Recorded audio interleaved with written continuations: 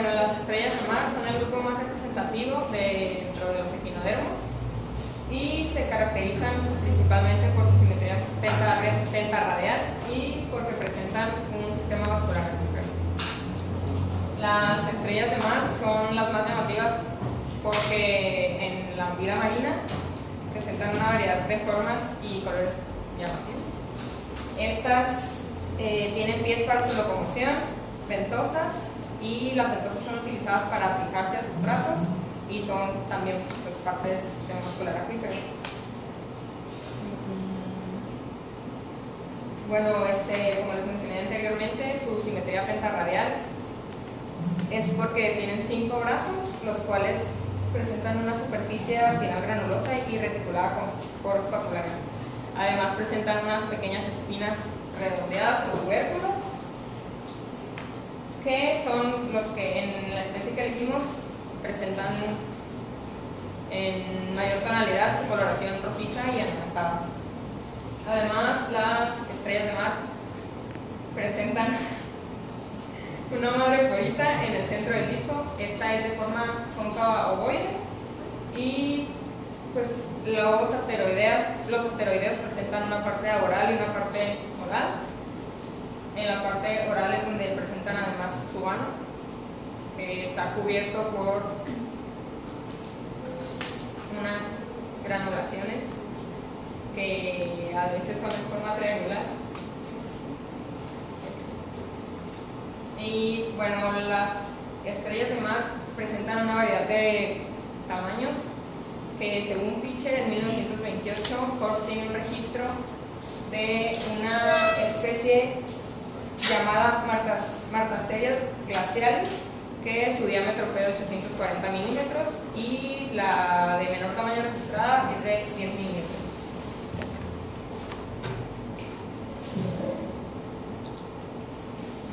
Además, Sosa en 1998 eh, dice que su distribución pertenece a la región panámica desde el Golfo de California hasta el norte de Perú, en las Islas Galápagos, hasta el norte de Perú, Perú y las Islas Galápagos, y también hay, se encontró, hay un registro de que en las islas de Hawái también habitan.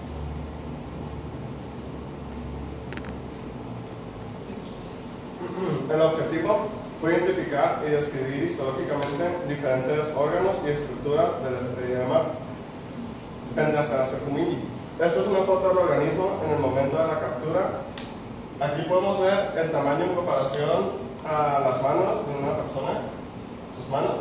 Entonces, eso la hace, no es una estrella pequeña ni grande, es una estrella de tamaño mediano.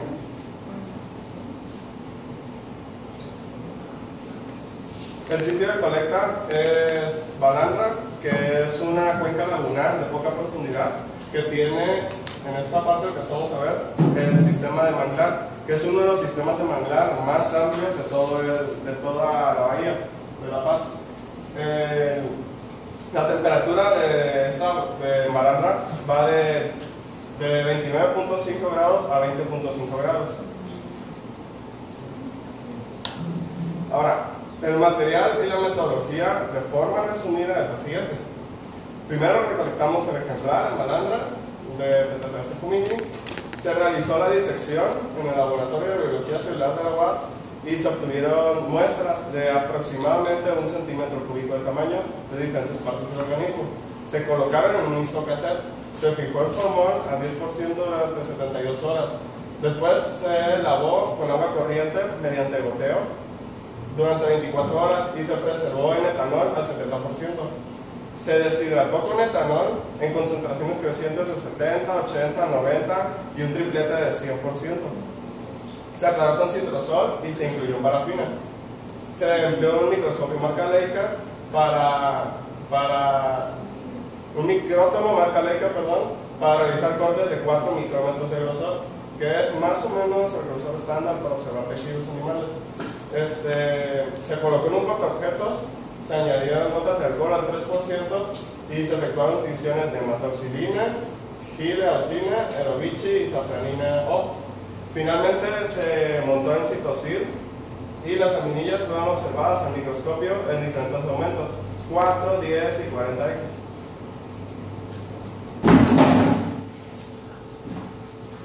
Bueno, eh, nuestros resultados, uno de los cortes que realizamos fue en el ovario del estrella de. Eh, aquí podemos observar bueno, las estructuras de- del ovario. Eh, en, la primera, en la imagen A muestra lo que es el folículo ovárico, que es bueno, los diferentes folículos ováricos que, eh, que, bueno, que pertenecen al ovario. En la imagen B se ve lo que es la pared gonádica, que sería este partecito de aquí, en un color azul más clarito que las demás estructuras. En la imagen C vemos lo que son tanto las células, que es los ovocitos y las ovogonias. Los ovocitos son células más grandes y maduras y tienen lo que es este, pues un núcleo y un nucleolo. El núcleo, en el caso de la tinción de hematoxilina y eosina, se tiñe de un color rosado porque son este, estructuras acidófilas y el, y el citoplasma se tiene de color azul. Además, en estas células encontraron lo que fueron granos de telo, que son este, estructuras que contienen nutrientes como son lípidos y proteínas. Eh, y las ovogonias son células más pequeñas y son células jóvenes. También pueden presentar lo que son eh, un núcleo color rosado y su citoplasma color azul.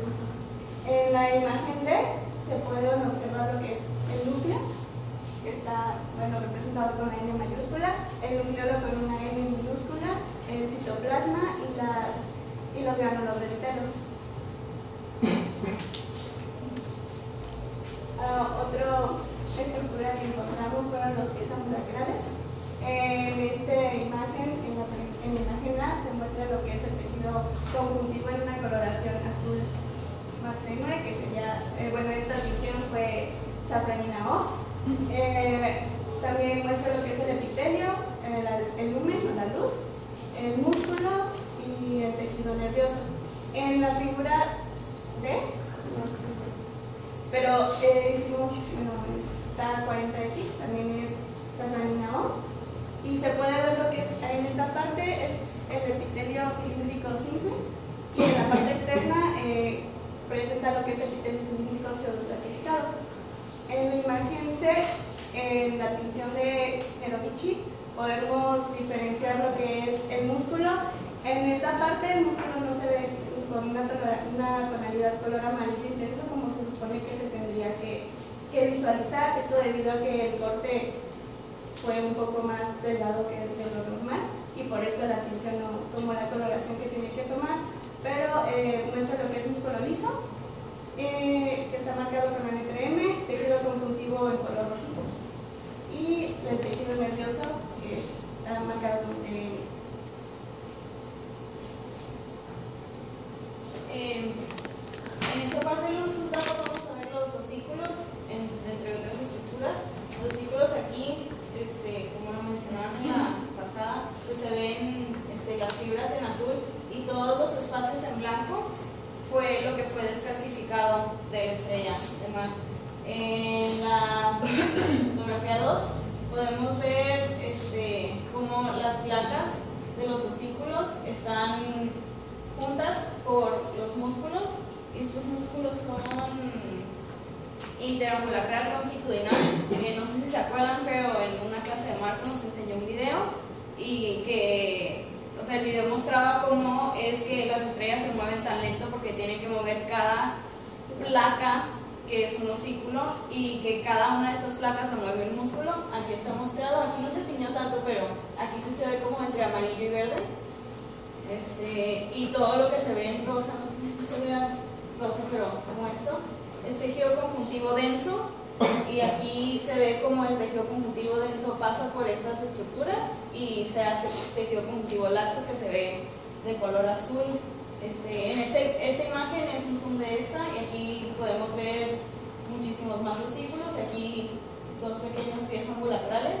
Esta foto fue tomada de el pico de la estrella y las de arriba. Esto creo que fue de el bracito y este es o sea, 40X que se ven. Las, las tres, bueno, tanto la imagen 2, 3 y 4 son creo que la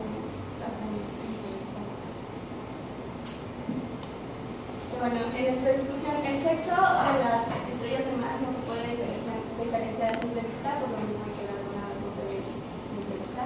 Eh, para eso se tienen que hacer diferentes procesos. Uno de estos, por ejemplo, fue el proceso, bueno, lo que fue la histología. Eh, según Herrera 2005, dice que las estrellas de mar bueno, presentan diferentes etapas de desorden. La de nosotros, conforme a lo que decía, que había una mayor, bueno, un mayor espacio y traceridad eh, entre cada uno, bueno, lo que es el lumen, eh, y además lo que son los ovocitos tienen una forma, bueno, eh, como se deformaron un poco, eh, muestra de. También nos dice que eh, se encuentra una, una mayor cantidad de tejido conjuntivo. En nuestra especie no encontramos, como pudieron ver en la imagen, no se encontró mucho tejido conjuntivo entre cada una de las células. Esto podría ser debido a que es una especie diferente. Eh, la, la que encontraron, bueno, la que se estudió ellos fue una Patario unifacialis y la de los spumigi, pero ah, hubo mucha, bueno, hubo muchas este, am, similitudes entre cada una de, los, de las etapas de, de gonáticas. Eh, en el parte de los, am, de los presambulatales, según Macaulay y Kier en 1995 dice, bueno, ponen que los preambulacrales están divididos en diferentes capas. La primera sería lo que es el epitelio, que fue el epitelio cilíndrico certificado, seguido de una capa de tejido una pequeña capa de tejido conjuntivo y después entre lo que, lo que es tejido, bueno, tejido muscular, que sería músculo liso, y después un pequeño epitelio. Eh, en el dis- eh, ellos describían el epitelio como un epitelio delgado, o sea, solamente una capa de epitelio, no, decían, no diferenciaban exactamente qué tipo de epitelio, pero por lo que logramos nosotros ver, era epitelio cilíndrico simple. Este, en la parte de los osículos, pues los osículos este, son cualquier elemento del esqueleto de los equinodermos, solamente que en las estrellas no están fusionadas como en otros equidermos, como, equinodermos, perdón, como en los erizos. Este, también, este, eh, el, sur- el ambulacral es la región abierta, eh, de la cual emergen los pies ambulacrales y en estas partes también existe un poco de músculo, pero entre los pies ambulacrales también hay osículos ambulacrales. Eh, y según Evami, en 1964, cada placa de las espinas o del osículo o del brazo o de cualquier parte que tenga osículos este, consiste de un solo cristal de calcita. Y para complementar esto, Gale en 1987 este, dijo que los osículos este, son extendidos longitudinalmente eh, con un músculo en medio,